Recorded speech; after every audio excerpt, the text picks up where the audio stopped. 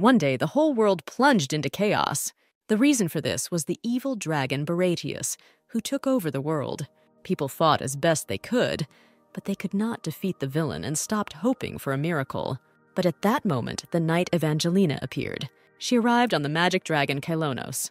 In addition, the angel Michael appeared in support of her, who created a sword for her from the clouds of paradise. With the help of this sword, Evangelina was able to defeat the dragon demon. She cut Baratius into seven pieces. However, before dying, the dragon was able to utter a terrible curse. It said that anyone who picked up a piece of his soul would receive great power, but would be plunged into endless torment. And when all seven pieces are united, he will return to this world and destroy all living things. The holy dragon was able to prevent Baratius. He himself destroyed his soul so as not to allow evil to return. Grieving for her friend, Evangelina decided to create in his honor the Order of the Knights of Kylonos, Defenders of Good. Subsequently, these knights were able to create and lead to prosperity the kingdom of Kylonos, and brave Evangelina became the first queen. A joyful voice hastened to add that her name is also Evangelina. The children surrounding the girl listened attentively to the exciting story, but another interrupted her, saying that he had already heard a hundred times about the similarity of her name Ava and Evangelina. Calling the guys to go play, he added that apart from the similarity in names, the girls have nothing in common, and the storyteller does not have a guardian angel. Those who a few minutes ago had been listening to the story with their mouths open stood up in disappointment and went about their business. No matter how Eve asked them to stay, it was all in vain. She only managed to say that she was going to become a knight of Kolonos. But no one heard this. Eh, she trained so much, wanting to show off her sword skills, but not this time. Suddenly, Eve heard the sound of bells, which was different from the usual ringing. Rushing to the place where the sound came from, she exhaled with relief. Because I saw the Knights of Kylonos landing. Back then, no one knew that a terrifying curse from an evil dragon was coming to the peaceful island of Delos. And the two of them, bearing the names of heroes from ancient legends, will have to face him, not knowing what awaits them next. In a matter of minutes, the pier became so busy that it was hardly possible to squeeze through the crowd. Everyone wanted to meet Lord Ilos and stood waiting for her to appear. Someone quickly grabbed the heroine by the hand and pulled her out of the crowd. It was the restless Solot, who was interested in why her friend was late and looked unkempt. Voices were heard greeting the Lord and congratulating her on her return. The girls, opening their mouths, also looked and admired, once again admiring her beauty and article. Here, they noticed on their armor the sign of a dragon with a sword and guessed that these were not Millet Knights, but the Song Ryong Spark Knights. Eva rushed as fast as she could to look for her friend Mick, but she couldn't find him anywhere and cursed that he was always gone when he was needed. On the beach, she saw girls looking towards the sea and whispering, discussing the beauty of some guy. Directing her gaze to where the attention of the others was riveted, she saw Mick emerging from the sea. Her friend was a tall, thin blonde guy who the opposite sex was crazy about. Seeing his friend on the shore, he cheerfully patted her on the head, calling her Dotori. Without hesitation, Ava hit the guy who was laughing at her with all her might. Unable to contain her emotions, she screamed that he was missing out on all the fun, having fun and basking in female attention. Meanwhile, the Lord and Knights of Kylonos arrived to them. The young man agreed that the Song Ryong Knights were not frequent guests of their island town. The girls watching from the side envied the heroine that she stood so close and communicated with the object of their admiration. The guy himself seemed to sincerely not see or understand the reason for the increased interest in his person. Having again patted his girlfriend, who was full of emotions, on the head, he asked Dotori if she really thought he was cool to which she was only once again indignant at being called that by her. Mickey laughed and said that he had a couple of acorns that he could share with her, which made the girl even angrier. Besides the fact that she hated being called Dotori, she was also irritated by the fact that Mikhail was not impressed by the fact that they had the opportunity to go to a meeting of the order in the cathedral. Ava shouted that in his place, she would have long ago become a knight of Kylonos, but the guy only smiled and said that he did not like to work. Having spent all her arguments, the girl sadly asked why he was studying fencing if he didn't want anything. To which the guy looked into her eyes and replied that only because she asked him to study with her. The girl pulled him back, urging him to stop acting like a sly fox. This left Mickey in sincere surprise. Seeing the misunderstanding in his eyes, Ava said that Salat says this at moments when he smiles with his eyes, and if there were any other girl in her place, she would think that he was flirting with her. But she doesn't think so, only thanks to, because they have been friends for a long time. The guy laughed again and asked in a friendly manner what he should do with this naughty acorn. It turns out that Dotori means acorn. As he left, he also laughed good naturedly and said that he had gathered many of her brothers in the alley and let her not forget them. With this joke, Mickey completely angered his good old friend. Children ran around on the street, imagining themselves as knights and heroes. Ava, sitting in a cafe with a friend, watched them and did not understand why even children wanted to become knights, but Mikkel did not. She was upset that he used to listen to her, but now he had become a fox to the core. Salau jumped up and pointed her finger into the distance, looking in this direction. The girl saw her friend, whom she had just been talking about. The guy, noticing them again, smiling slyly, called Eva by her annoying name. And of course, he got exactly the reaction he expected. And a friend, looking at him, asked if Dotori really didn't see happiness in his face. To which she heard in response that he always glows with happiness whenever she meets him. Apparently, it's all because of his fans. Adding that today, at a meeting, she told him everything about the fact that he is a womanizer and a cunning fox. The already emotional Salat jumped up, wanting to know what exactly her friend said to Mickey. Hearing that, she told him that he had a look like a sly fox, and that in her place, any other girl would consider this look as flirting. Her friend swore, calling her a fool. Eva, who did not expect such a reaction, began to say that she was not a fool and there was no need to call her that. But in response, she heard that Mikkel only makes such a face when he is next to her. From surprise, the heroine was speechless and did not understand what her friend was driving at. But she explained that Mick doesn't like Eva as a friend. The color of embarrassment flooded her face, and the girl could not make out what feelings she was experiencing at that moment.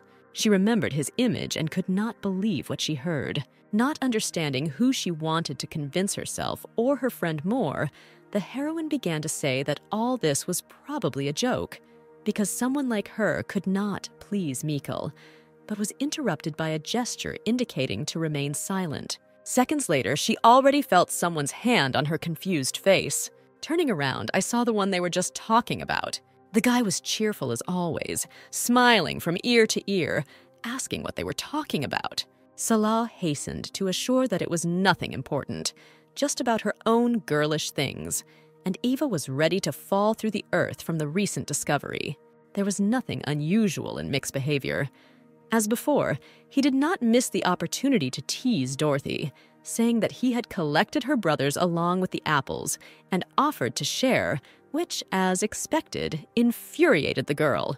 But every time her reaction only made him laugh.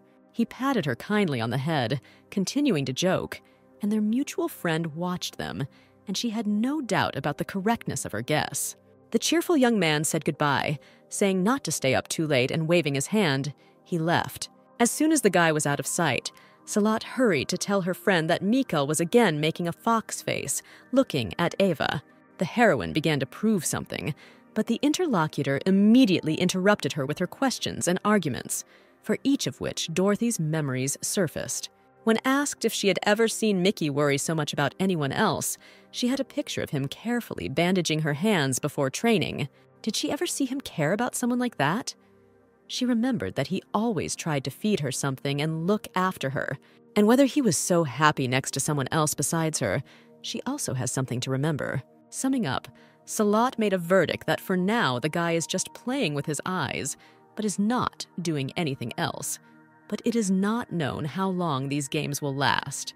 Ava, still not wanting to admit the fact that Mika liked her, became completely angry, hit the table with her fist, and began shouting that they had simply known each other since the orphanage and were friends. Seeing such a reaction, Salat asked why the girl did not want to go beyond friendship because no matter how many knights there were, it would be difficult to find someone like Mickey. A friend urged the girl to think about it, because in addition to the fact that the young man is handsome, no matter what, he always supports and helps her like no one else. Dotori remembered their conversation today, in which he admitted that he was engaged in fencing only because she asked about it. It seems that something began to take shape in her head. Seeing the confusion and confusion on Ava's face, Salat advised her to listen to her heart. The fencing lesson arrived, where the heroine always practiced with pleasure and did well, but not this time when my arms and legs refused to obey. She couldn't concentrate because of what her friend had said recently. When the lesson was over, the guy said that the Lord wanted to see her. Ava asked in surprise why the Lord might be interested in her, but the young man himself didn't know for sure, suggesting that it had to do with the Order of Knights, which completely delighted the girl who dreams of joining their ranks. She rushed headlong towards her dream. Seeing no one in her way, she ran as fast as she could. Of course, she wanted to become a knight, but on the other hand, she still had so much to learn and learn. And here she is at the castle door, just a few steps separate her from an important meeting. Taking a breath, reassuring herself that she had been giving it her all in fencing lessons all this time, she opened the door.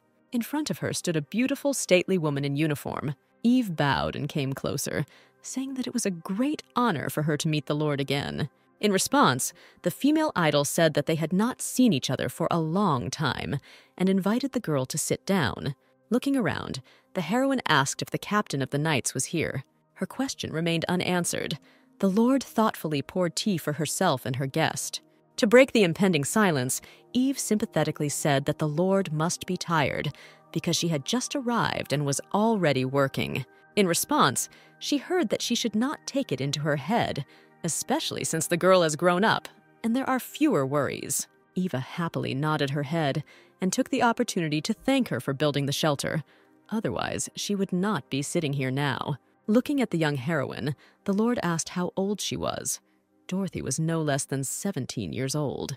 The master, looking back, continued her speech about how at her age she dreamed that the world would become a much better place. Listening to every word with interest, the girl did not yet understand where the conversation was heading. Sorrow appeared on the Lord's face, she said that the knights still had a lot of problems, because coping with the magicians who had absorbed the fragments of the evil dragon was a thorny path. Eve believed that as long as the knights of Kylanos fought for them, no curse was scary. But everything turned out to be not as rosy as it might have seemed from the outside, as the girl was now learning about. There was so much pain in the eyes of the woman who always seemed unapproachable. Her voice trembled, but she continued to say that hundreds of innocents die every day. They have already sacrificed too much. She turned and addressed the sitting girl, saying that she knew about her desire to become a knight of Kylanos in the future and go to defend the world, and that the girl probably considered the arrival of the knights to their island as an excellent opportunity to go with them. Eve admitted that she had thought about it, in response, she heard a soft and caring voice saying that it was too early for her. The heroine didn't understand why it was early. Was she so untalented that if she trained every single day, she still wouldn't become a knight? The Lord still carefully explained that it was not a matter of mediocrity, but that she was simply too young, and she was afraid to take her into that terrible world. Dotori experienced mixed feelings. On the one hand, she was caring, but on the other, it seemed to her that her dream was crumbling. Having apologized, the Lord said that the girl was not allowed to go there. Ava scolded herself, calling herself a naive fool, hoping to receive the title of knight. Remembering that Mikkel had already been given a sword, she became even more discordant in her emotions, saying that it was not a matter of age, but that she was simply considered too weak, and therefore she could not receive her sword. She swore that she could handle it, that she would train long and hard for as long as it took to ensure that no one could doubt her strength. She screamed that she would eventually become a knight and save the world, just as her mother wanted. The Lord listened to the fragile but determined girl who did not want to give up on her dream, adding that if she was not accepted into the Order of Kylanos, she was ready to become a simple warrior to save people. Not understanding how else to convince Ava, the woman raised her voice, hoping that they would hear her. and said that the girl did not even know how often such simple warriors were sent to certain death even before they had time to save someone. Having listened to the end, the heroine persistently continued that in this case, she will become a knight of Kailanos, no matter with or without the help of the Lord. She is not going to retreat from danger on the way to her goal. Captivated by a heated conversation, the ladies heard a man's voice praising the girl for her courage. The person who had just entered apologized for being late and introduced himself as Juvelius de Morgan. He was the vice captain of the Song Ryong Spark Knights, the third division of the Knights of the Great Kingdom of Kailanos. Then he turned to Eve, saying that he wanted to make sure of the firmness of her intentions. The master was clearly not happy with what was happening. The same cannot be said about the main character, who, when asked by Juvelius, who was interested in her name, without hesitation, reported that her name was Evangelina Delus. De Morgan suggested testing her strength. The girl, with her mouth open, listened to every word the man said and waited for him to announce exactly how he was going to do it. The Lord, who still feared for the young lady, asked the vice captain what he was up to. He explained his position that if Evangelina has talent, then it would be wrong to just leave her like that, and therefore invites her to come to the competition tomorrow to recruit new knights, where if she loses, she will never bother their captain again and will leave the idea of knighthood. Eva accepted all the conditions and, bowing at her feet, sincerely thanked Sir Julius for the opportunity. Running away, she joyfully shouted to the remaining adults in the office that she would not let them down. For some time, they stood dumbfounded by the girl's energy. The Lord still did not approve of the actions of her deputy, but he replied that this child's dream should not be rejected like that. Not everyone is so eager to become knights of Kailanos. Unable to contain her emotions, the captain bitterly said that protecting the children on these lands was her direct task. Sir De Morgan knew that the captain had a lot of trouble, so he thanked her for the help she provided to their squad. He added that he understands very well how out of place the things they brought with them are on the island. In response, he heard that the problem was not the thing, but human greed. The vice captain promised to leave the island as soon as all preparations were completed. The woman prayed that nothing would happen before then. Only the power of the endless ocean temporarily weakens the influence of the fragment, so let it be stored on Delos Island as long as possible. All her life, the Lord lived side by side with danger, and so did Eve. Let everything be okay this time. The library was full of people. The bulk of them were girls who were not taking their eyes off the handsome blonde. He, completely unaware of this, recalled the words of his girlfriend that they had the opportunity to join the Order of Knights. With her, Mickey was ready for anything. Noticing a crowd of girls coming out, a friend approached, grinned, and said that since Mikkel began working in the library, it has become incredibly popular. He also told the unsuspecting Mickey about Eva, who went to a meeting with the master, and perhaps she would join the Order of Knights.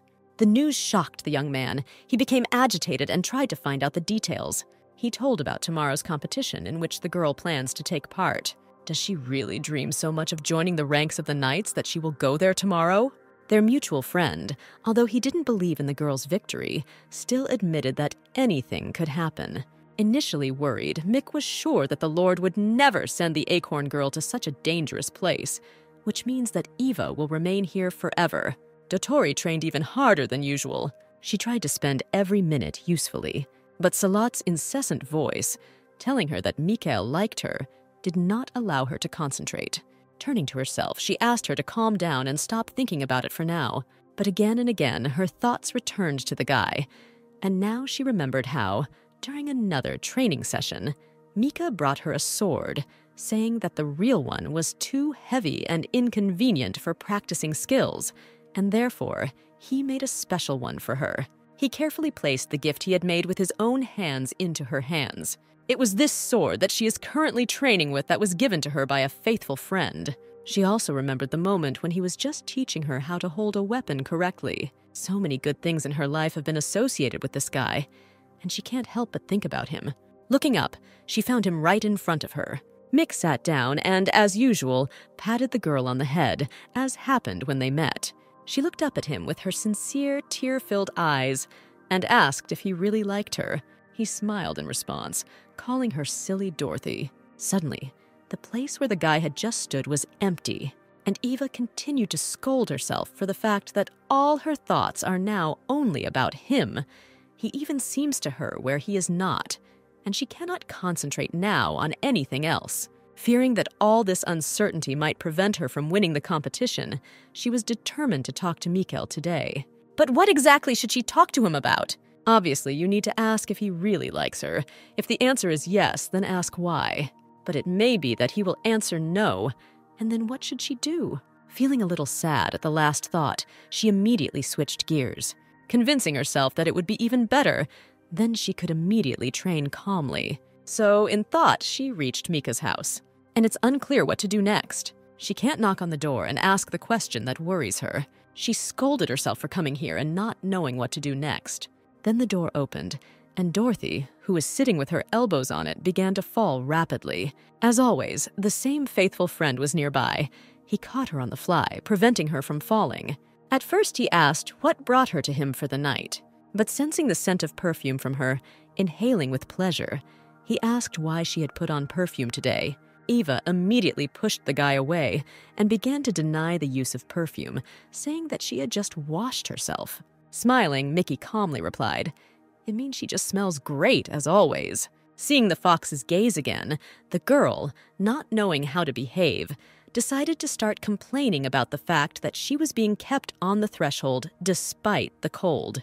And belligerently pushing the young man aside, she walked into the house with swift steps. After catching her breath a little, Ava said that she liked the vice captain of the Knights, Sun Ryong, and if everything went well, then she would be able to go with them.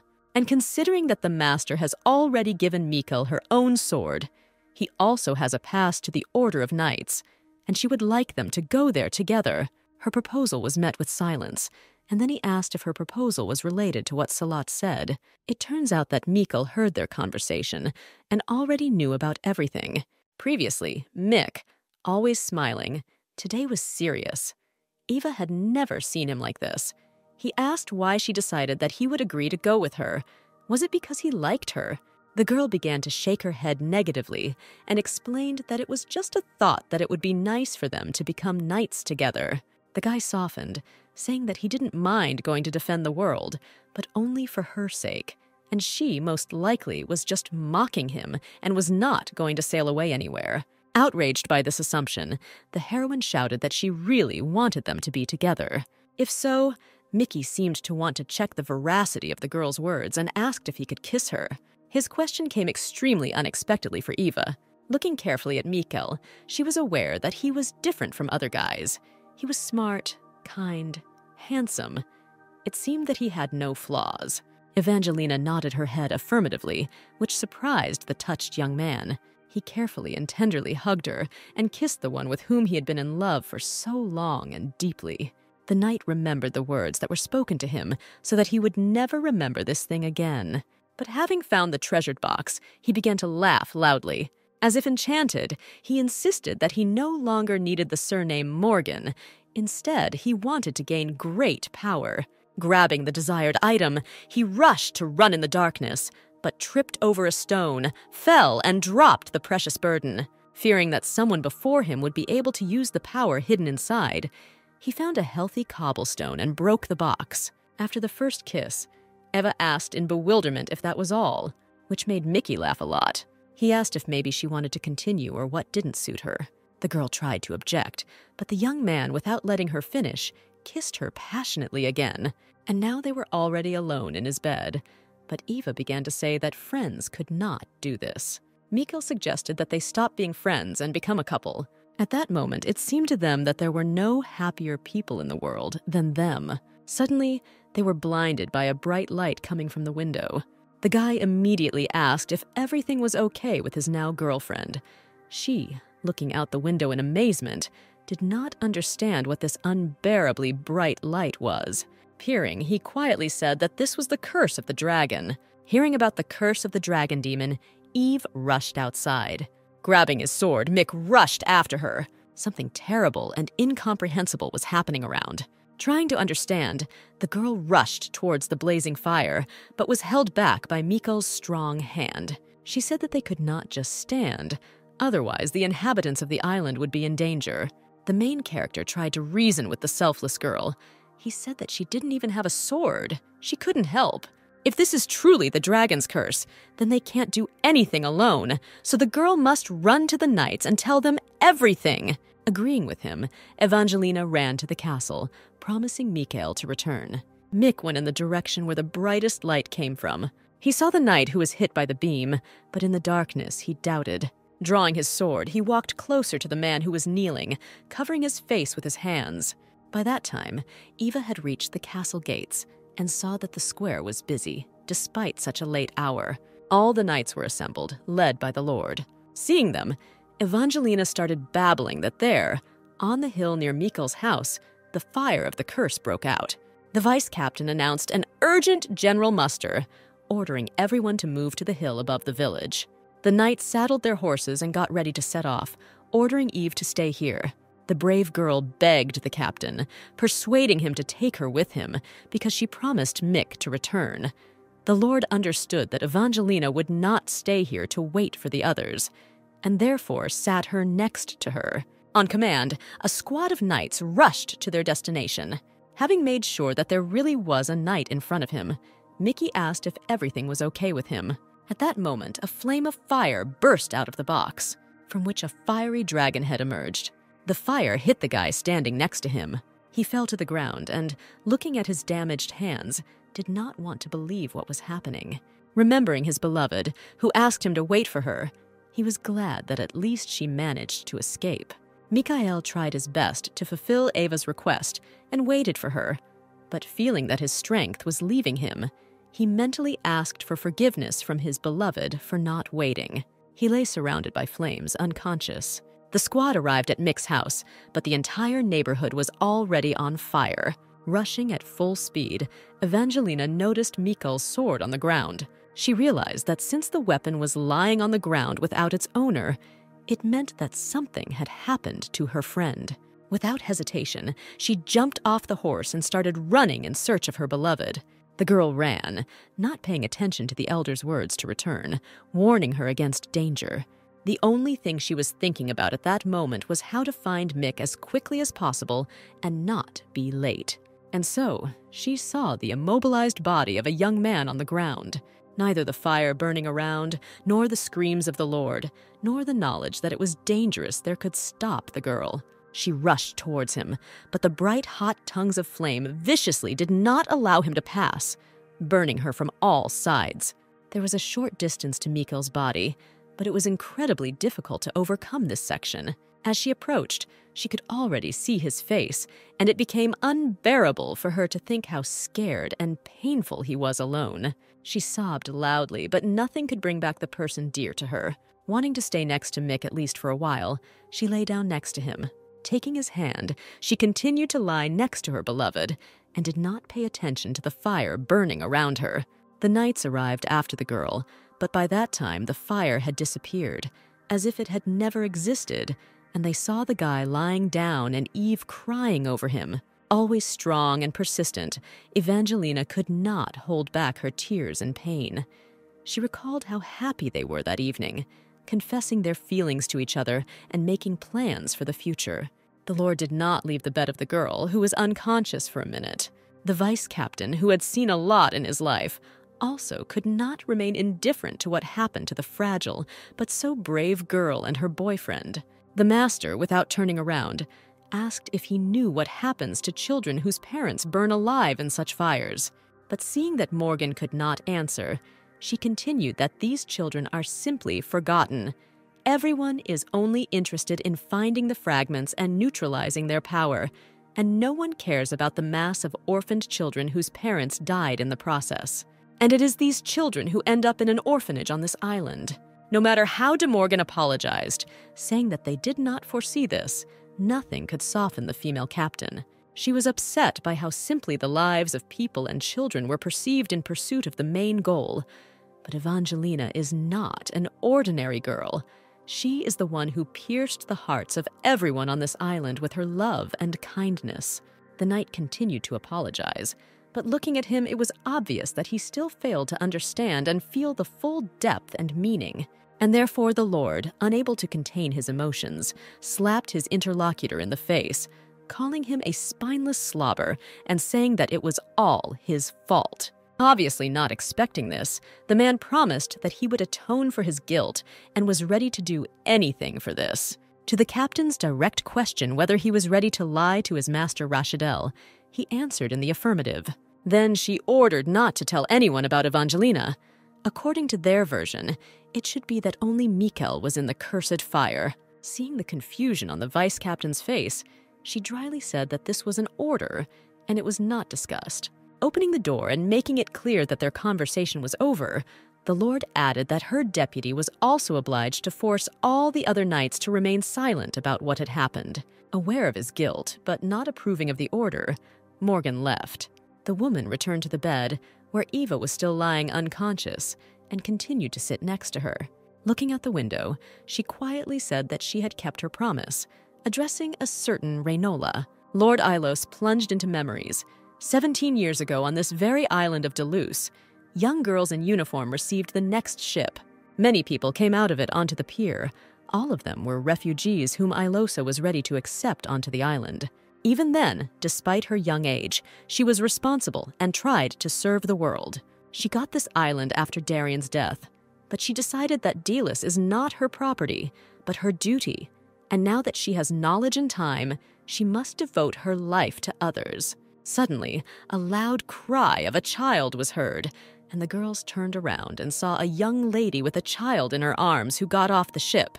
The child screamed at the top of his lungs, blushing from pain, and nothing could calm him down. Ilosa came up and took the fluffy, soft, crying bundle. The mother screamed and demanded that her daughter be returned to her, saying that they had no right to take her child away from her. But then she heard that the crying was replaced by the ringing laughter of her baby, and the girl holding the child in her arms was gentle and caring. The young mother realized that they did not wish harm to her and her daughter, and therefore, tired, she sat down on the ground in front of the Lord. The girls came to the castle. The captain looked intently at the new arrival, and she, in turn, did not dare to raise her eyes. Breaking the silence, the master reproached Raynola for the fact that the knight who betrayed her homeland dared to come here. The young woman began to object with bitterness, saying that she did not want to betray anyone and run away. Just a lot of events happened, and she made a mistake. The knight listened carefully and watched the girl. She believed in her sincere repentance. Raynola shared her fear that if someone found out about her being here with her daughter, trouble might start. Ilosa came closer and asked why, if she really wanted to protect her daughter, she continued to behave so carelessly. She encouraged her to be strong for the sake of the child. The girl realized everything and begged to be accepted. She promised that if she received help, she would definitely change and devote her life to her daughter. The master was afraid of a rebellion on the island, but at the same time, she understood that the future of these two people depended on her, so she promised to help, but on one condition. Renola had hope and said without a doubt that she agreed to everything. The girl had to promise the Lord that no one should ever know that she was a knight, not even her daughter. In turn, she promised to protect her child with all her might if the former kept her word. Renola kept her promise to the end, and Ilosa kept hers. Eve, being unconscious, saw the image of her mother, who walked into the distance, leaving her. She ran after her, stretched out her arms, but her mother only moved away. Gradually, her image began to crumble and disappear. The terrible footage gave way to others in which she found Mick and begged him to come to his senses and leave from there. Suddenly, he opened his eyes and looked at her. At that moment, shouting his name, Evangelina woke up. The Lord, who was leaving to fetch water for a compress, frightenedly hurried to the victim. Seeing the woman, Eva excitedly asked where Mikhail was and if he was alive. Silently, Ilosa hugged the girl tightly. Taking this as bad news, the girl's eyes filled with tears. She clung to the woman who had always been kind to her and apologetically asked not to leave her. Feeling and sharing all of Eva's pain, the master reassured her, saying that the brave girl was not to blame for anything. And then, looking straight into her eyes, she told her that Mikkel was alive.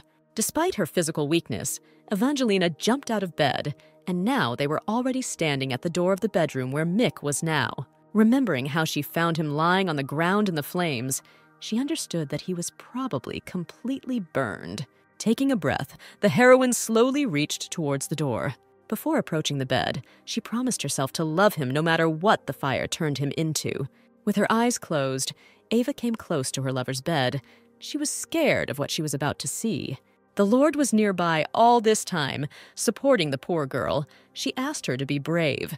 The girl opened her eyes and looked at the lying guy. Her gaze fell on his face, which still had the same beautiful, thick eyebrows, and his blonde hair also looked as usual. She didn't understand how this could happen. Unable to figure it out, she rushed to the woman, asking how he didn't burn, because she saw him on fire with her own eyes. The Magister explained that this was not an ordinary fire. The flame took energy from a cursed magical artifact. With the help of waterbenders, they managed to stabilize the fire energy inside him. Listening to the story, Ava could not believe what was happening. She thought that she had lost Mikkel forever. Tears flowed from her eyes again, but now they were tears of joy that her loved one was alive. The Lord continued, saying that he was not physically injured at all, but they would be keeping an eye on him. At the head of the bed stood the sword of Mika, handed to him personally by the Master. Taking the sword in her hands, the heroine remembered her friend, who was always ready to face danger. She could not forgive herself for leaving him alone. Now she does not intend to leave him. Touching his head, Eve noted that the heat was still lingering. She lay down next to him, not taking her eyes off, looking at him, waiting for him to finally wake up. She stayed next to her lover all night without sleeping a wink. But as soon as it blossomed, the girl, not noticing anyone on her way, quickly ran somewhere. A few minutes later, she was already in the library, enthusiastically choosing a book to read to Mikael. Having found a suitable one, she wasted no time and ran back. Rushing into Mick's chambers, trying to catch her breath, she heard a voice. Her lover was sitting on the bed and smiling as usual. He made fun of the out of breath girl, saying that long before she appeared, he had heard her running at breakneck speed. This time, Ava was not angered by his banter. When she approached him, she said how scared she was when she thought that they would never see each other again. The guy tried to laugh it off. He smiled and said how cute it was. He carefully wiped the tears from her face. But the girl could not calm down. She threw herself on his neck and continued to cry, hugging him tightly. Mick gently pressed the girl, always so strong and independent. Now she was so vulnerable. Suddenly, she spoke in a serious tone, saying that she would not be able to go anywhere now, as they had planned, because something had happened, and they would not let her go. Not expecting such a turn, the young man became sad and to support him, Ava laughed cheerfully, patted him on the shoulder, and asked him to make his facial expression more cheerful, because life was not over yet. Now, Mikkel took the floor. He said that he had changed his mind and was going to sail to the capital. The girl's surprise knew no bounds. Mick said that the knights would soon sail away, and he was going with them, where he would be initiated into the order. How is it that the one who never wanted to be a knight changed his mind now that she cannot sail with him, as she previously dreamed of. Mikkel has already been given his own sword, but no one knows when Eve will be able to receive her weapon and join them. The guy admitted that he would like his beloved to run away with him. Unable to hide her feelings, the girl quietly asked if he would leave if she stayed on the island, to which I received an affirmative answer. The heroine returned to her bedroom, where she had been after the incident, and began to pack her things, which is exactly what the Lord found her doing. The woman urged not to rush, convinced that everything has its time and life goes on. Not wanting to upset the master, who was so kind to her, Ava said that everything was fine. She understood that Mikkel was talented and had the right to sail to the city. But why then, understanding all this, she could not sincerely congratulate him? This question asked the girl, who again had tears in her eyes. The answer was obvious. She did not want to part with him. She was afraid that they would never see each other again. Hoping that Evangelina would change her mind, the Lord once again asked if she had definitely decided and was ready to return home. Smiling, the girl said that she had decided everything for herself. Then the captain became serious and asked if Eva remembered their conversation. The heroine quickly started chattering, retelling the story they had come up with for the others, which said that that evening one of the knights accidentally set fire to gunpowder and an explosion occurred. And Mikkel tried to stop the fire and was badly injured, so he sailed away for treatment. Becoming even more strict, Ilosa said that the girl had forgotten the most important thing never to tell the truth to Salat. Saying goodbye, the master asked her ward to rest more and not to overdo it with training until she had fully recovered. At the same time, Mick recalled their recent conversation with the Lord, from which he learned the terrible thing that it is almost impossible to get rid of this curse. He refused to believe it, pointed at himself, and said that he was completely normal. Remaining calm, the woman said that she too would have thought the same as him if she had not experienced the curse herself, and therefore she was sure that not everything was all right with him.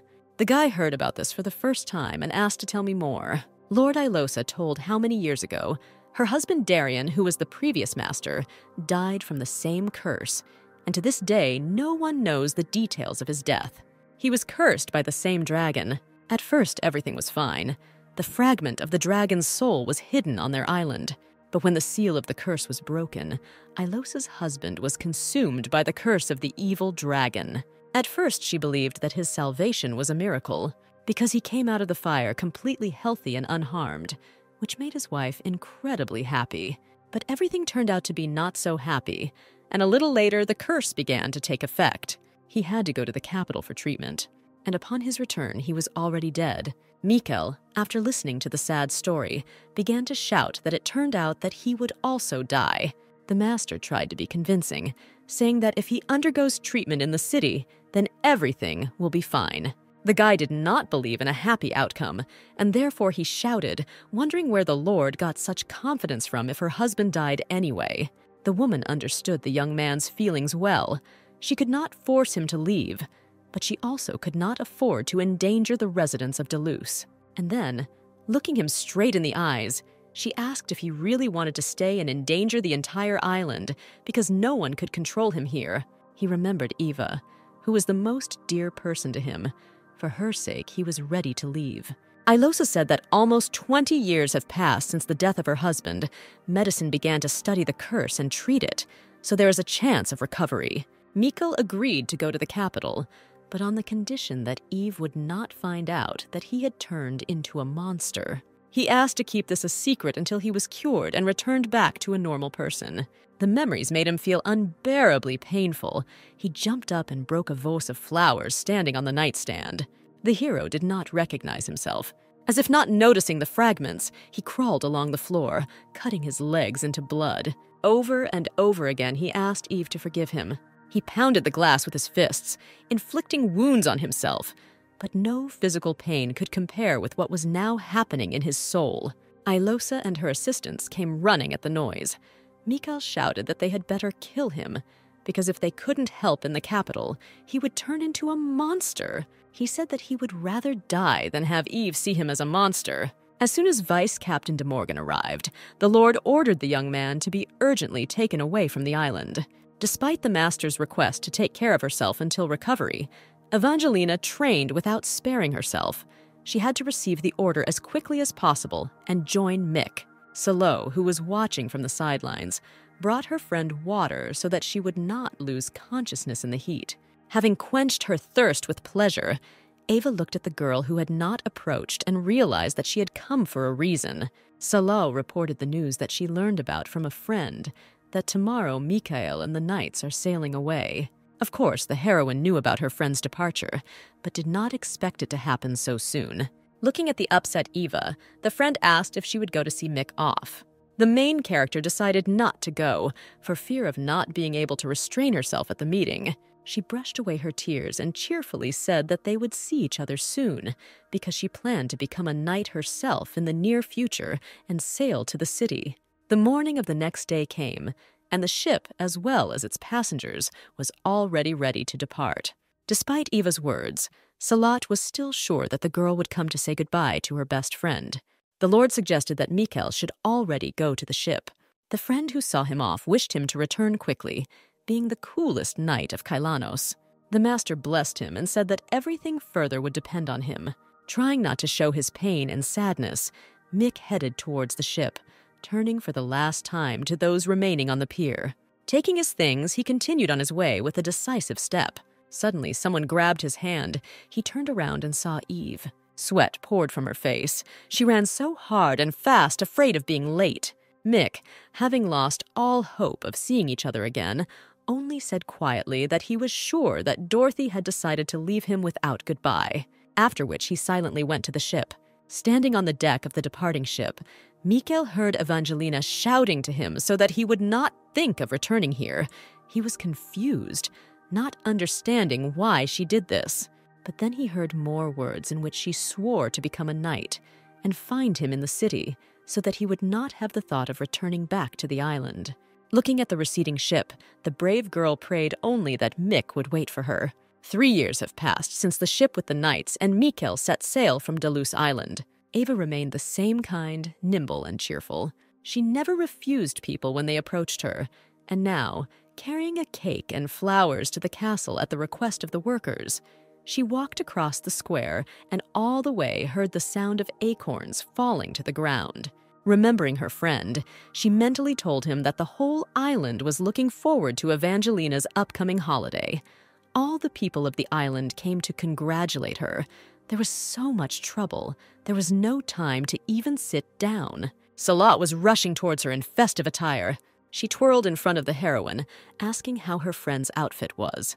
Eva was angry that even her friend was interfering and distracting her. The elegant girl did not give up, shouting after the departing Dotori. She said that she should come to the festival because her first official appearance with Jude, who is the cousin of the head of the city, would take place there. Seeing that the interlocutor did not react in any way to her words, she still continued that Eva simply had to be next to her and constantly talk about the beauty of Salat in front of her boyfriend. On Dotori's table, there was a filled bowl of acorns. With the help of them, it was as if she had an invisible connection with Mick. Finally, finding herself at home in silence, the girl had the opportunity to write a letter to a dear person. With all her heart, she missed Mikael. She was wondering how his fate had turned out. But today, she decided that this letter would be the last. Ava sent him many letters, but she did not receive an answer to any of them. In this last message, she said goodbye to him, wishing him happiness and adding that she was really looking forward to their next meeting. Having put the letter in the mailbox, the girl went on to complete her tasks. The master, seeing her, noted that she, as always, works harder than anyone else. After which, she changed the topic and asked if it was true that Evangelina was going to the capital in the spring. To which I received an affirmative answer. Without looking up from her work, Ilosa, with kindness in her voice, said that if Ava decided on something, then nothing could stop her, not even the absence of a sword. Feigning thoughtfulness, the Lord quietly said that it was a pity, because besides Evangelina, there were no suitable candidates to receive the sword that he planned to hand over. Dropping a bouquet of yellow roses in surprise, the girl asked if they really wanted to give her the long awaited sword, and without waiting for an answer, she rushed to hug her patroness. When the happy heroine released the woman from her embrace, she said that the weapon would be ready for winter, so in the spring Eve could take it to the city. Dotori laughed and did not stop thanking the Lord. The happy girl ran to her teacher, who, by the way, was also named Eva. She was eager to tell her about the most important news. Smiling mysteriously, the teacher said that she would probably go to the capital with Gideon, and that was so sweet. The main character in emotion loudly asked where the idea came from that they should go together. Seeing that the namesake did not understand the hints, the teacher asked what Eva thought why the guy stayed until the night and helped Dotori with training, to which she received the interlocutor's assumption that he did this out of his kindness. The one they were talking about came up and asked if Eva was going to the square at night. Having said that he had an appointment there, he offered to go together. The mentor, giggling, pushed the girl and turned to the guy, saying that he was on time and it would be great if he accompanied Eva. The young man was a little surprised to learn that the main character was also named Eva, like his colleague. The guy had to wait while Evangelina changed clothes for the holiday. She apologized for keeping him waiting. But Gideon, looking at his companion with admiration, politely replied that it was nothing to worry about.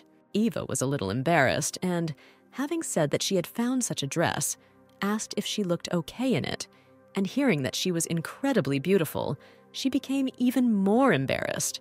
On the way, the guy timidly turned to the girl, wondering if she would like to dance with him today.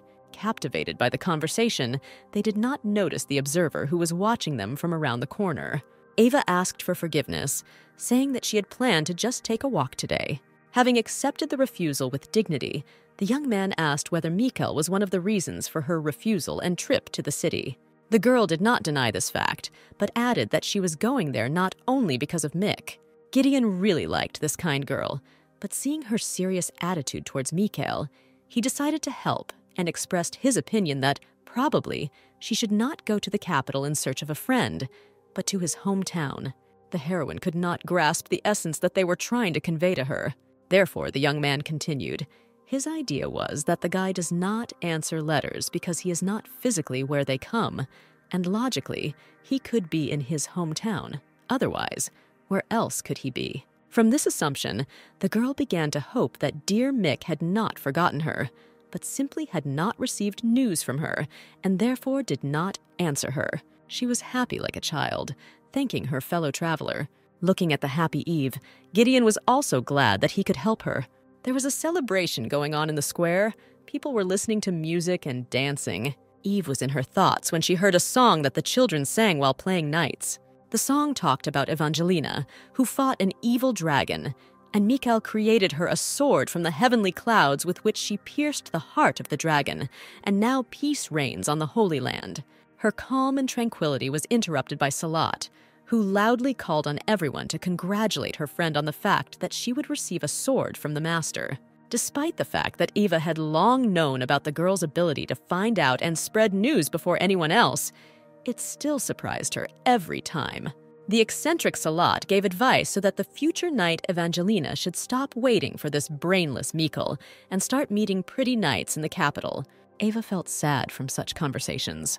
To diffuse the situation, the chatterbox casually began to say that although Mick was handsome, no one remembered what he was like blonde or brunette, and they couldn't even remember the color of his eyes. Interrupting her interlocutor's monologue, the main character, without thinking for a minute, said that he was blonde and his eyes were the color of azure. Her gaze became soft from the memory of her beloved. The celebration was interrupted by a loud sound, similar to thunder, but much stronger. Eve looked at the fiery peals above the castle and remembered that that evening there was the same light. Not fully understanding what was happening, she ran for her sword just in case. Quickly changing clothes and taking her weapon, the girl ran back. Along the way, she saw pools of blood, and then an excited mentor who ran to meet her. She told that the magician had sent a curse on them. However, Eve understood that this was not just a curse, they were being attacked. One moment, and the island from the holiday plunged into darkness. People died one after another. Gideon was also in a hurry with bad news. He reported that the monsters and night hunters that the magician should meet were approaching the city walls. Hearing such news, the main character was worried about the master, whether everything was okay with her. Eve calmed her down and said that the Lord was waiting for them to say something important, so they needed to hurry to the tower. The entire path was paved with dead soldiers. The enemy was already in full control of the castle. The sound of a bell was heard throughout the island, warning people of danger and the need to leave the city on the island. Salo and his boyfriend had already arrived at the captain's and were waiting for the others. The Lord decided that as many people as possible should leave Delos, since ordinary people cannot cope with the magician. However, there are those who are ready to stay and protect the island. Having run to the place, Eva first of all asked if everything was okay with the captain. She smiled and thanked the young people for their prompt arrival. She took out a box with letters and began to say that from now on the fate of the island depends on them. They must complete a task of paramount importance. They urgently need to go to the capital and deliver letters to Rashidel, the third knight of Kailanos. Evangelina and Gideon wanted to stay and defend the island, but this time the captain's loud and stern voice, saying that there was no guarantee that anyone on the island would survive and be able to deliver the letter, made them understand the importance of the assignment. Night hunters and magicians will pursue them, and therefore the Lord ordered everyone to split into groups and set off from different sides of the pier. She strictly forbade breaking the seals from the envelopes because only their presence could prove that the letters were really from her. Afterwards, she turned to her beloved ward in a soft voice and apologized for not being able to keep her word and hand her the sword. Eva hastened to reassure the woman, saying that it was nothing to worry about, and protecting the island was much more important now. The master took off the brooch and attached it to the girl's uniform. Yes, she cannot perform the initiation ceremony now, but this brooch is a sign that Evangelina has earned the recognition of the captain and became a knight. For the girl, everything happened as if in a dream. Meanwhile, the Lord took an oath and named Evangeline de Luce a knight, after which she knelt, accepting her new title. Giving her her hand, the woman asked her to become a real knight and save the world. Leaving the tower, Eve looked back one last time. Fiery rumblings were still visible above the castle. Salo reported that they had already left the southern and northern piers, and she and Jude were taking over the western one. In parting, she turned to her friend, telling her to be careful. The main character, holding back tears, said that everything would be fine, and they would definitely survive. The girls hugged and promised each other to see each other in the capital. The master was left alone. She watched as the boats set sail from the piers. And with all my heart, I hoped that these still very young warriors would deliver the letters and be able to stay alive. Now she was calm that people had left the island. Feeling the presence of the magician on her skin, she drew her sword and called him. He was not slow to appear when she called. Seeing a familiar face, she was surprised. The magician, without wasting time and taking advantage of the temporary confusion of his opponent, sharply thrust his sword. Ilosa bravely endured the pain of a deep wound without making a sound. Looking again at the familiar face, she wanted to address him by name, but he interrupted her and introduced himself with a new name, which sounded like Tail, the dragon's claw. Enjoying the state of the wounded woman, he said that he saw a future in which Enrique, the eye of the dragon, leaves the island with a sealed letter. But apparently, he was too late. Looking into the master's eyes, he interrogated her where she hid a piece of the dragon's soul. Realizing that he would not wait for an answer, he grabbed the already weakened woman and debated whether to kill her or spare her. Ilosa replied to kill her, because that's what demons always do. Having become even more furious, the dragon's claw struck the master with all its strength and pressed her head to the ground. Ruthlessly watching the already completely weakened Ilosa, he used all his strength and power. At that moment, the valiant woman was not afraid. She only remembered Eva and her mother. Day after day passed, but Renola still did not pay enough attention to her daughter, therefore, on another of these days, Ilosa frowned, and turning to the young mother, asked when she would finally name the girl. She cried and claimed that this was not her child, that her child had died. The master shook the woman, trying to bring her to her senses. She screamed loudly that on the day of her return to the island, Renola had made a promise to be a good mother. Seeing that everything was useless, she went up to the girl and took her in her arms. Lord Alos named her Evangeline Delos. Since then, Ava has become the most dear person to Ilosa, knighting her. She turned to Renola so that she would look at her child and be proud of her. The master always saw her mother as a brave and kind girl. They are incredibly similar. Dying, the master mentally turned to the knight Evangelina with a request to take care of Delos Island. On the way, Eva recalled the captain's instruction that no one in the capital should know the name of her real mother. The girl always felt kindness and support from the Lord, and also had warm feelings towards her. And now, looking at the burning island, she asked the master to take care of himself. So they arrived in the city, and while the older knights were figuring out where to go next, Evangelina thought that she had hope of meeting Mikel here. At that very moment, a man in a black cloak and a pulled hood walked past. The main character did not have time to look at the face, but she was sure that it was Mika. Looking at the retreating figure, she called out to the passerby, but he did not react and walked further and further. Then she rushed after him, shouting his name. She did not hear the call of her partner Gideon, who was excitedly watching her, not understanding what was happening. Realizing that the girl was not herself, Ava, the senior in rank, told the guy to run after Evangelina. When the heroine had almost caught up with the secret passerby, he deftly jumped onto the supporting wall. Eva, with difficulty overcoming the obstacle, found herself in an empty area where there was no one. She was sure it was Mick, but where did he go? Gideon, having finally caught up with the girl, began to ask what happened. It was the first time he had seen her in this state, and he was worried. He so wanted to support this fragile girl, but she still cried, unable to stop. She apologized for her outburst and said that due to her busy schedule, she was apparently hallucinating. Also, a concerned mentor came running, wanting to understand what it all meant. Then she fell, dropping her suitcases, and everyone saw that she was attacked by a night hunter. Realizing that they were pursuing them from the island itself, the knights drew their swords and began to fight. The sun had not yet risen, so they were increasing in size at a breakneck speed. Standing back to back, the knights were not going to give up, but they understood that they had practically no chance to cope with such huge enemies. But then, as if from heaven, the Knight of Kailanos descended to them. With one swing of his sword, he defeated the night hunters. Looking at the young people he had just saved, he wondered who they were. The guys said that they were knights from Delos Island. In turn, the arriving hero introduced himself as the head of the 7th detachment of the Kailanos Knights of the Kingdom of Kalon, Wings of the Sacred Dragon, Pascal Vane. Kneeling before the senior in rank, the guests introduced themselves in turn Gideon Dice and Holy Knight Eva Delus. Evangelina had no idea that Eve and Gideon were not ordinary knights, but at least sacred ones. Following the example of her elders, the heroine also knelt and stated her name and status Knight of Delos Island, Evangelina Delus.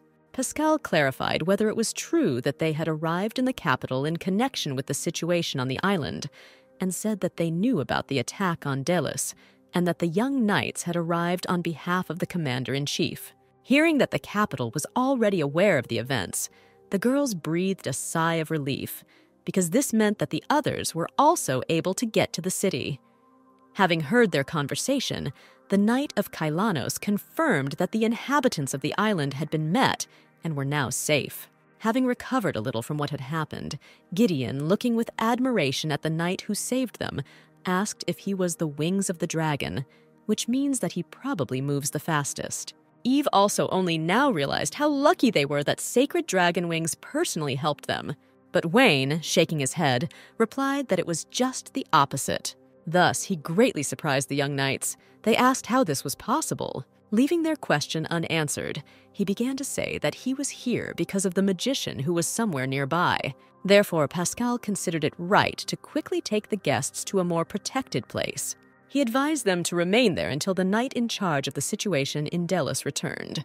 Thanking him for his concern, Eve asked if he knew the magician who attacked the island. The Knights of Kailanos had information about the five magicians, which he shared. Enrique, Eyes of the Demonic Dragon. Asmodeus, Flame of the Demonic Dragon. Tylock, Demonic Dragon Claws. Vasilisa, Demonic Dragon Scale. Joachim, Wings of the Demonic Dragon.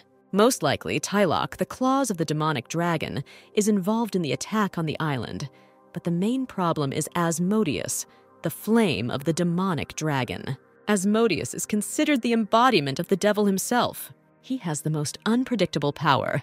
Other magicians move with Enrique, the eyes of the demonic dragon. Asmodeus appears alone. He is able to raise the continent to the ground. Moreover, he can even attack other magicians without hesitation. The knights listened and were in shock. They knew about the strength of the enemy, but this was the first time they had encountered so close. Gideon asked why the sacred dragon knights could not find the remaining two parts of the demonic soul. Pascal Vane, with regret in his voice, replied that it was not in their power to know whether they remained in the place where they were created. Eve thought out loud and suggested that this might be because of people who wanted to become magicians and found these particles. But the young man did not understand what could motivate such people. The knight joined the conversation and thoughtfully said that this is nothing more than a desire to become stronger. Such lust leads to the wrong choice. Evangeline understood that she needed to prevent all this before all the parts of the demonic dragon's soul came together. Pascal turned to his interlocutors and said that the letter from the master of Delos Island could be dangerous and offered to give the message to him. Without hesitation, Gideon took out the letter with the seal and handed it to the knight. But he did not take it, and as a senior, advised in future not to give it to anyone except Sir Rashidel, to whom it was intended. He told about the ability of Vasilisa, the scales of a demonic dragon, to take on the forms of others and if now she were in front of them in the guise of a knight, there would be trouble. Yes, the guy didn't think about it and promised to be more prudent. Getting up to leave, he added that their task was to preserve and convey this letter, even at the cost of their lives. Today, the knights have realized how naive and inexperienced they are. Elder Ava called her comrades to go to the training ground and practice so as not to waste time, but the main characters sat deep in thought and did not hear what the mentor was saying. She jumped up sharply and ran after the knight, hoping to catch him on the street. With hope in her eyes, the girl asked if he knew Miquel Delus, who arrived in the city to become a knight. To her chagrin, Pascal had never heard of such a thing. In an attempt to find at least some clue, she began to find out if perhaps he then knew Mr. Juelius, who took Mick away. The knight knew Vice Captain de Morgan, but unfortunately, he is now listed as missing. The girl did not expect this at all and asked how long he had been missing. It turned out about two years ago. The already shaky hope of finding his friend collapsed. Wayne said goodbye again and apologized for not being able to help. Ava Dalis, seeing her namesake standing alone, asked if everything was okay. Hearing that everything was fine, she asked the girl to buy bandages, since in the confusion she had forgotten about them. Evangeline happily agreed, saying that she was happy to be useful to the Holy Knight to which she was embarrassed and said that she was not trying to hide her rank. She just didn't have to. The main character expressed her admiration because she cannot compare with the knights studying in the capital. Promising that she would quickly, only there and back, the girl ran to the pharmacy. Along the way, she thought about Miquel again and again. There are so many people on the mainland, but where is he? How to find him? Unnoticed, she reached her destination. Just as she was about to enter, she again saw a passerby who looked like Mick in a black cloak and hood, just like that time. The heroine began to call him at the top of her voice, not paying attention to the people around. The man continued to move away without responding to the call. Suddenly, he felt something, took off his hood, and turned around. It really was Miquel Delus. They settled down in a nearby cafe. It seemed they had so much to tell each other. Eva looked at the guy sitting in front of her and couldn't believe that they had met after all. She bombarded him with questions about what was happening, why he never responded to her numerous letters, and what happened to his companion. The guy remained calm, indifferent, and silent, which infuriated the heroine. Hitting the floor, he quietly and thoughtfully said that he knew nothing. The girl's rage knew no bounds. Looking at the one sitting opposite, the one who was always so dear to him, he extended his hand and carefully straightened her hair. At that moment, something familiar and dear appeared in his eyes. Feeling embarrassed, Eva continued to look at Mick. Her outburst of emotion subsided a little. And again, Miquel silently and detachedly looked away and seemed like a stranger. Evangelina noticed that the guy was still wearing the bracelet that she had given him. After some silence, Mick began asking questions one after another, perplexing his interlocutor. He began by saying that he wanted to know how she ended up in the capital. Next, he was interested in who she came with, whether there was a boyfriend, or maybe she got married. Each subsequent question was more ridiculous. Unable to listen to this any longer, she jumped up and shouted in his face that she had gotten married and given birth to three children. In response, she heard congratulations and that he was happy for her. Eva thought she was going crazy, that this was even happening to Mika. Then Mikael said that he was on the run. The heroine expected anything but this. She couldn't comprehend how and why such a cheerful, kind, and decent person could be on the run. Without going into detail, he simply referred to a skirmish with other knights, and that is why he is avoiding them now. Evangelina was sincerely upset by this news. She thought that everything was fine with him. Mick returned to questions about Eve, asking again why she was here and whether it was true that she got married and had children.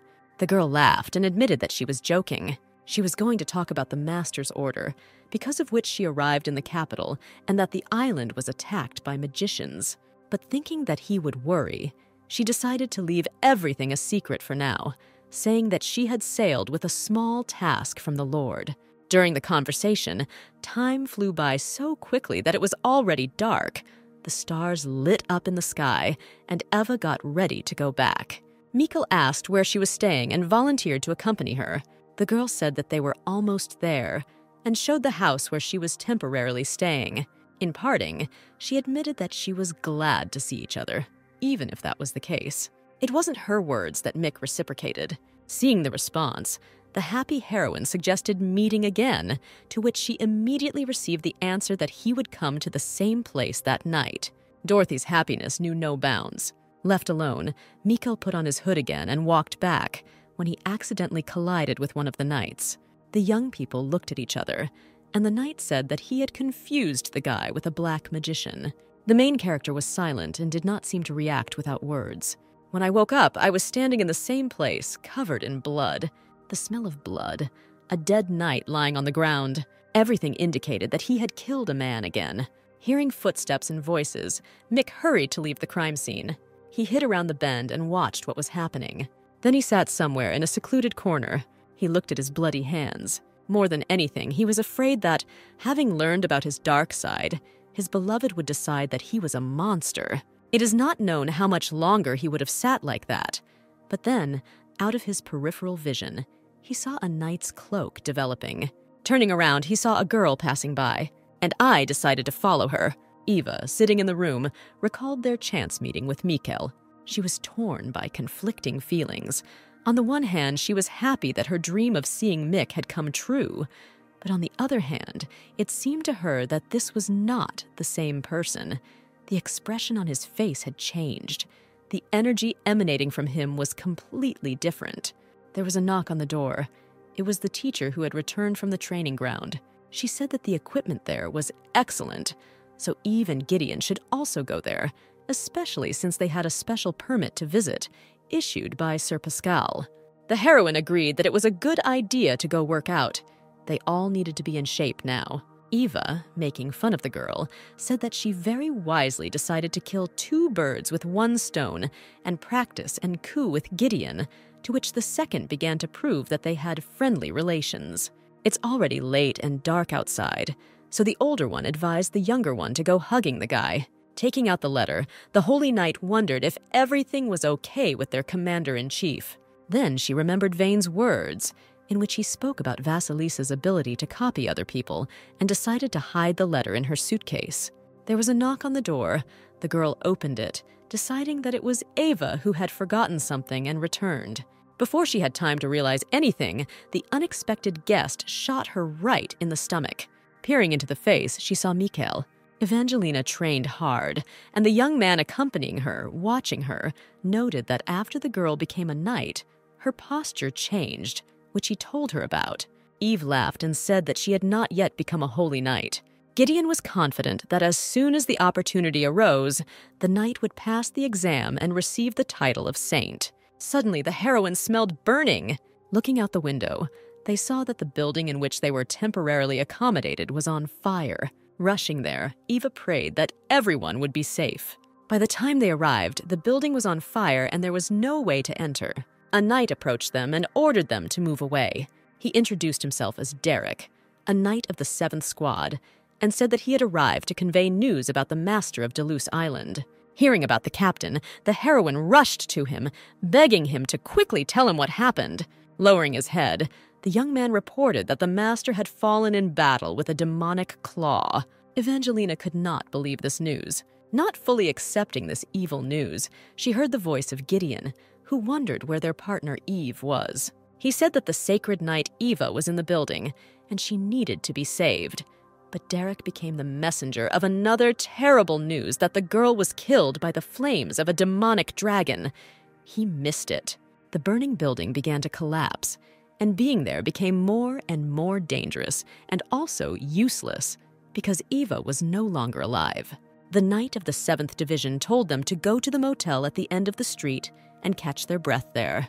The main character remembered that Mikkel was supposed to come here. The blood froze in her veins at the mere thought that he too had suffered. She ran to the place where they agreed to meet. Her partner tried to stop her, but Derek advised her to leave the girl alone. She seemed to be in severe shock. Running around the corner where she and Mick had just recently parted, she saw him sitting on the ground, his head buried in his knees. He raised his head when he heard a familiar voice calling his name. Ava calmed down when she saw that Mikkel was not injured. In an alarming voice, she said that a fire was raging nearby and it was dangerous here. The guy rushed to her and hugged her tightly, saying that he was very scared. Evangelina could not understand what confused her more such uncharacteristic behavior for the always brave and fearless Mick, or the strong smell of blood that emanated from him. The girl said that the place where they stayed burned down because of the magician. She asked if he was hurt, and if he had seen this magician, who is considered the most dangerous. His name is Demonic Flame. To all her questions, he endlessly repeated only one thing that he didn't know, didn't know anything. Ava, not understanding anything, began loudly asking how it could be that he didn't see anything and didn't know anything, what he was doing then, all this time. To which he also quietly replied that he didn't remember anything. Unable to find out anything anymore, Evangelina said that tonight the magician killed Eve, a knight who was sent on a business trip to their island. She recalled how the girl always helped her so that she could become a knight. She got up and said that she was very tired and should go to rest, asking if Mick could come here tomorrow afternoon, and having received his affirmative answer, she went to her room. Various thoughts came to her about her loved one, but she wanted to believe that someone who looks like Angel Mikkel cannot commit terrible acts. The young man wanted Eva to believe him because he actually doesn't remember anything. We will find out in the next part whether loving hearts can be together or whether they are destined to become opponents and fight against each other.